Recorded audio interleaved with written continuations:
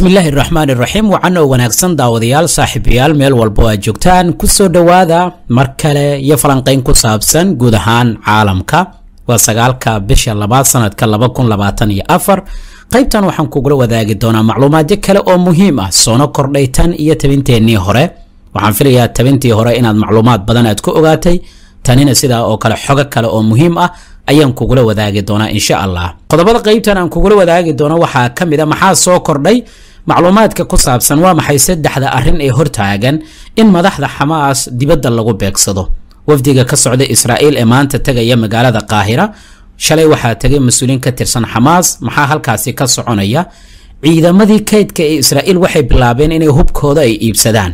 Ku qasbaya inay hubka ay iibiyaan iyagoo magaalada qazo ku sugan oo dagaalamaya. Malaha habaarkiini ayaa ku dhacay muxuu ra'iisul wasaare netanyahu u diiday in antony blinken uu la kulmo taliyaasha ciidanka ee israa'iil. Qodobo kale oo muhiim ah ayaa raaci doona. Soo dhowaada mar kale ka mid noqo saaxiibadeenna aad baad u mahadsan tahay. Waxyaabaha kale ee update-ka ah qaybaha dambe ayaan u dhiganaynaa. Markan aan eegno falanqaynta ku saabsan askarta hubkooda iibinaya iyo netanyahu sababtoo blinken ugu diiday inuu la kulmo saraakiisha ciidanka iyo falanqayn kale. Waxaan ku hormaraynaa askarta hubkooda iibsanaya sida macluumaadka wargeyska arabic bost uu ku baahinayo askarta kaydka ee ciidanka israa'iil waxay bilaabeen inay iibiyaan qalabkooda military iyaga oo dhaqaale raadinaya. Halka kuwa kalena ay bilaabeen inay suuqa ay ka soo iibsadaan hubka iyo qalabka ay u baahan yihiin. Taas oo muujinaysa in ciidanka gumaystaha ama israa'iil aanan loo dhammaystirin qalabkooda iyo baahiyadooda gaarka ah. Sida lagu sheegay warbixintan uu qoray wargeyska kaalkalisti oo isla israa'iil ka soo baxa waxa uu intaa ku darayaa warbixintiisa. In qaar ka mida hubkooda ciidanka lagu iibiyo dhanka internetka. Sidoo kale hubkan waxaa la sheegay inuu yahay hub laga soo xaday ciidanka israa'iil.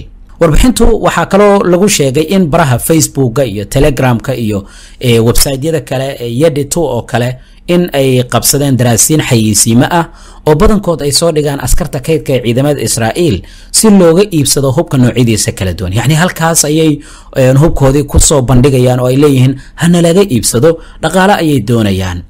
Waxyaabaha kale oo iibgeynayaan waxaa ka mid ah qalabka habeenkii wax lagu arko iyo koofiyadaha nooca loo yaqaano nylon ee tactikada ah.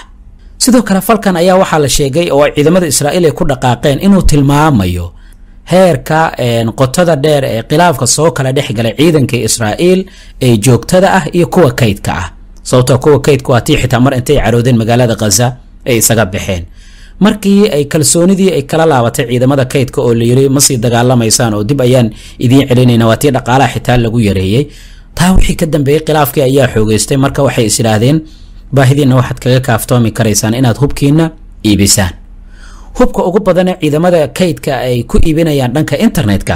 Waxaa ka mid ah qoriga loo yaqaano porolite m kaas oo la sheegay inuu qiyaas ahaan gaaraya lix boqol iyo siddeetan dollar una dhiganta lacagta israa'iil marka la eego laba kun iyo shan boqol oo shekal sidoo kale qalabka aragtida ee habeenkii wax lagu arko ayaa ay sidoo kale iibinayaan qalabkaasoo ilaa laba boqoloo mitir wax looga arki kara ilaa iyo saddex boqoloo mitir waxaana ay ku iibinayaan lacag u dhigantaa afar boqol iyo konton shekal oo lacagta israa'iil ah. Dollar ahaan haddii laga dhigana waa boqol iyo labaatan iyo laba dollar. Sidoo kale koofiyadaha militariga ayaa ka mid a qalabka ay iibinayaan waxaana ay ku iibgeynayaan oo suuqa lagu soo xayeysiinayaa ilaa iyo saddex boqol iyo labaatan iyo toddoba dollar halka qiimaheeda saxda uu yahay saddex boqol iyo afartan dollar jaakadahan xabadaha karin ayaa ka mid ah waxyaabaha ay iibgeeyeen oo baraha internetka lagu xayeysiinayo oo ay ku doonayaan lacag afar boqol oo dollar ah. Marka shabakada kaalkalista oo israa'iil ka baxda waxay heshay cadaymaha rasmiga ah ee askarta israa'iil ee ku laabta guryahooda iyagoo wata qalab dagaal oo gaar ah oo aanan la isticmaalin qiimihiisana uu dhan yahay tobannaan ilaa iyo boqolaal kun oo shekel oo lacagta israa'iil ah qaar ka mid a qalabkan marka waxay ku keediyeen guryahooda iyaga oo filaya inay mustaqbalka u baahan yihiin. Halka inta kalena ay door bideen inay iibiyaan si ay lacag ay u helaan sababtoo dhaqaale darra ayaa haysata qaarkood. Mid ka mid a dadka hubkooda iska iibiya ayaa wuxuu sheegay marka xayisiis inuu soo dhigay bartiisa facebooka una go'aansaday inuu iibiyo qaar ka mid a hubkiisa sababtoo ah buu yidhi in uu isaga soo baxay dagaalkii magaalada khaza dibna ugu laabtay noloshiisii dabiiciga ahayd islamarkaana uusan hadda u baahnayn hubkan sidaa daraaddeedna uu iska iibinayo dhaqaalana uu doonayo intuu hubka uu u tiirsanaan lahaa. Laakiin arrintu ma ahan mid ku saabsan askariga askarta kaydka ah oo kale ee halkan jooga laakiin waxaa lagu warramayaa tani inay tahay dayaca ay ciidanka israa'iil ay dayacayaan hubka tirada badan.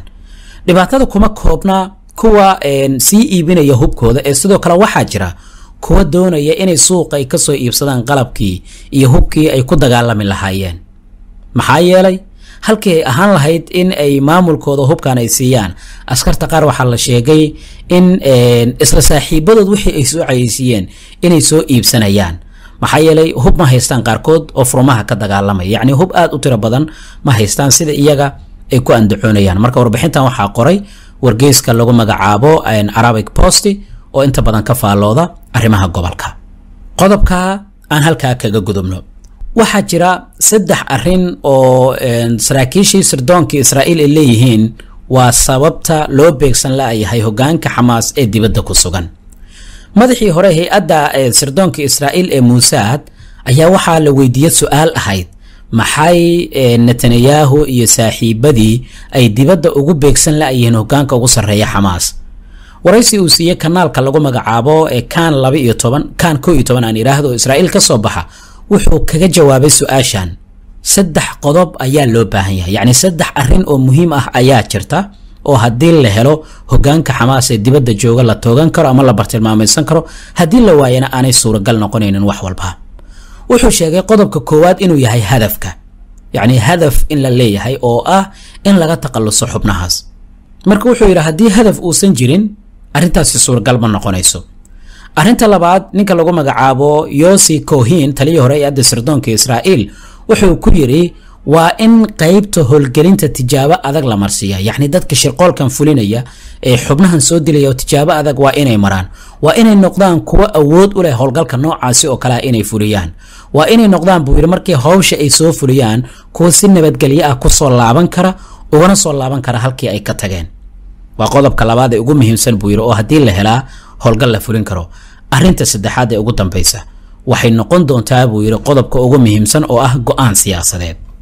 Saddexdaa hadaf haddii la helo hogaanka xamaas ee dibadda jooga waa la dili karaa buu yidhi laakiin haddii aan la helin marnabo suuragal ma ahan in la dilo.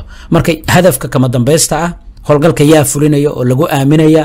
Netanyahuna go'aanka noocaasi oo kale ama qaadanaya inkastoo dhowr jeer uu yidhi waan bartilmaamaysan doonnaa waa dilayna waan yeelaynaa uu yidhi haddana hadafka kama dambaysta ah ayuu yidhi waa midka ku xiran go'aanka siyaasadeed ee netanyahu iyo saaxiibadii. Qodobkan waxaan filayaa inaad si fiican u fahamtay.